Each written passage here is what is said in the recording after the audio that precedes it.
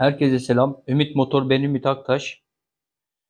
Bugün hazır motorumuz da tezgahtayken e, kanalımızda Sibop ayar videomuz da yok. Biz Sibop ayar videosu yapalım istedik.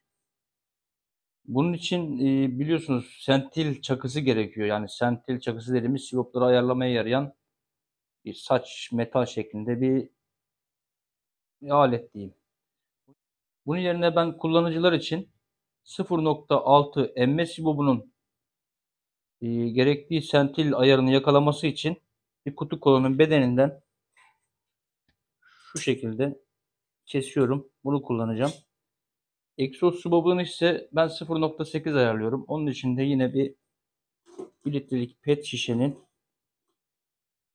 yine bedeninden şöyle bir plastik parça kullanacağım arkadaşlar. Hani bunu sentil çakısı malum kimsenin olmaz. Yani bu şekilde bu ayarı yapabilirsiniz.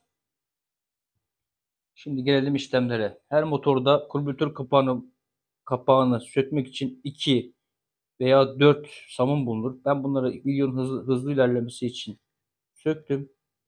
Kurbüratör kapağımı açıyorum. Burada sente olayı var arkadaşlar. Senteyi isterseniz marşta tık tık tık yaptırarak yani gördüğünüz gibi motor dönerken şöyle göstereyim. Space motoru için şuradaki gördüğünüz çentik yukarıda olacak şekilde şu iki somun birbirine paralelken sibopların boş olması gerekiyor. Bu şekilde ayara hazır durumda oluyor. Şimdi Çin grubu skuturlar için 50 cc, 125 cc ve 150 cc Çin grubu skuturlarda ise sente burada burada iki büyük delik ve şurada bir küçük delik olmak üzere bu iki büyük delik birbirine paralel olacak. Şuradaki bunda mesela nokta vardır. Yani kameradan belli olmaz ama nokta yerine onlara delik vardır Çin grubunda. O şekilde ay- ayarlayacağız. Ben bulabilirsem resimlerini de ekranın sağına veya soluna yerleştiririm. Buraya kadar anladık. Yani motorumuzu marşla tık tık tık hareket ettirerek şu şeyi yakalıyoruz. Bu şekilde. Ben şimdi sibopları boşaltayım. Şuraya kamerayı koyup MS sibobumu 9'da söküyorum. Ben şimdi bunları olabildiğince ayarını bozup şu şekilde boşaltıyorum. Bu arada bir 9 anahtar kullanmamız gerekiyor. Bir tane de şu şekilde şu şekilde bir papağan pense. Önce emme subabını yapıyorum. Şöyle yaklaştırayım. Gördüğünüz gibi araya bunu koyuyorum. Bunu sıkıyorum. Kadar yeterli. Papağan penseyle şu ucu tutacağım. Diğer anahtarla da samuru çevireceğim. Şimdi anahtarı buraya buradan anahtarla tutar tutarken şuradan da şunu gevşetiyorum. Biraz daha sıkabilirim. Şimdi buradaki sertlik nasıl olacak? Bunu çektiğimiz zaman nasıl bir hissiyat olacak? Mesela kalın, orta kalınlıkta bir kitabın arasında bir kağıt koyarız, onu çekeriz ya. O hissiyat. Ne çok çok sıkı, hani zorlanmayacağız böyle. Bir kitabın arasından bir kağıdı çekerken nasıl zorlanırsak o kadar bir sıkılık olması gerekiyor. Mesela şu anda biraz daha sıkayım şu üstte.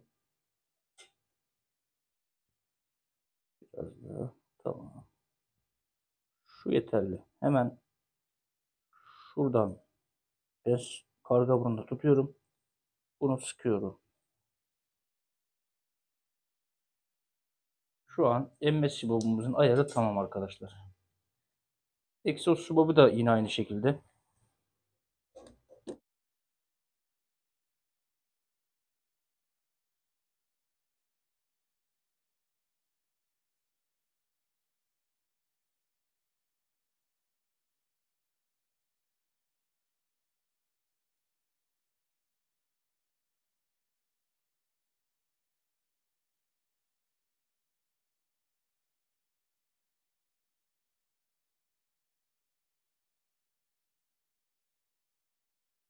Tekrardan eee, hatırlatalım.